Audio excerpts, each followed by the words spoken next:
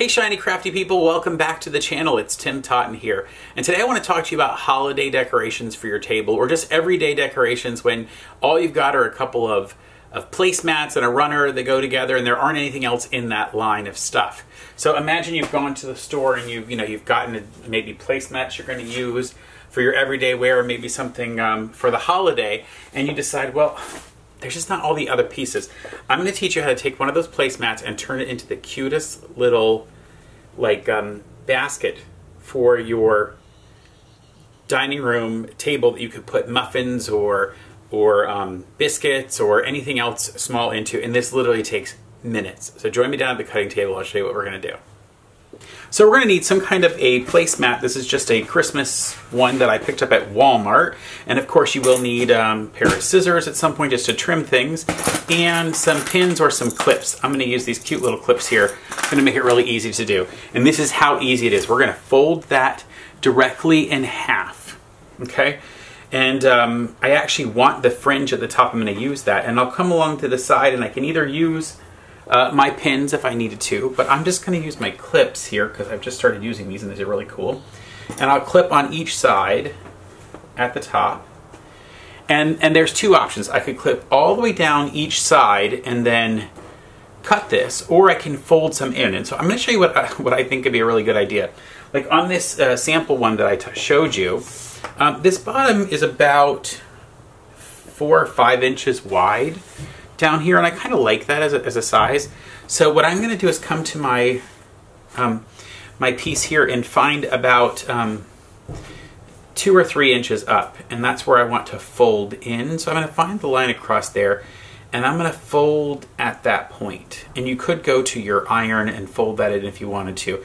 And I'm going to fold it back here until it kind of, I can find the equal from the other side. So this makes sense. I'm kind of pushing back until I find an equal amount that I folded over. And I'll do the same thing um, on this other side. I'm sort of just taking out five or six inches of that. And then I'll put some clips on that as well. Like I said, this takes almost no time at all. And then maybe a few more clips on each side just to hold all the pieces in. And then we're going to go to the sewing machine. Oh, that's right. You also need a sewing machine. I should have told you that. All right, so let's go over to my sewing machine and you can watch what happens next. This is how easy this is. And I'm just using black thread because um, there's black in here. And I'll just go right up to the top. Now, not off to the top of the fringe, obviously, but where the fringe starts.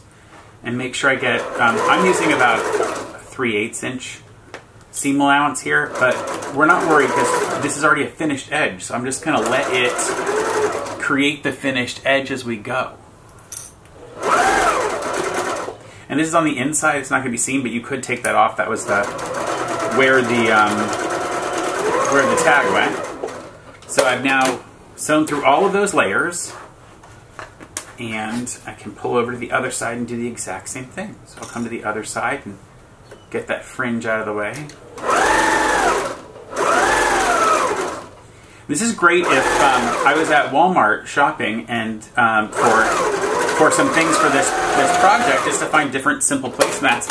And they had these placemats and I think some napkins and like a table runner or two, but that was it. The stuff didn't, um, there wasn't anything else that coordinated with this look. And I thought, well, you know, you'd want a few other things. So what else can we get? So now we're going to literally open this up and turn it inside out so you'll, you'll see I've literally, um, I have that done, and I'm going to turn it inside out and point out those corners where we had them folded, those corners that went in there. So that it's about five or six inches across.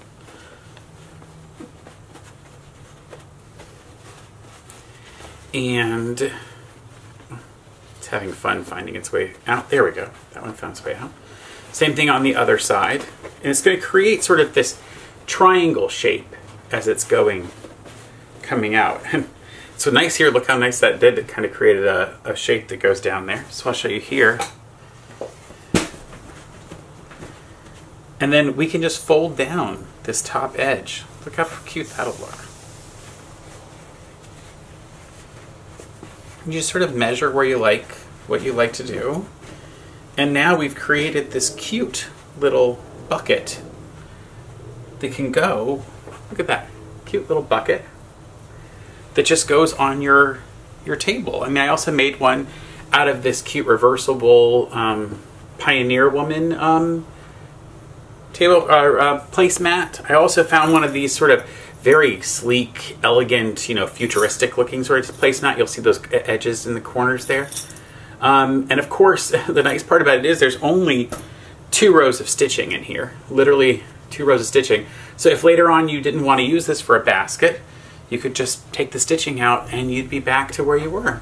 So that's this cute little um, biscuit basket that you can use out of a simple placemat for your table so you have more coordination on your holiday table without spending tons of money.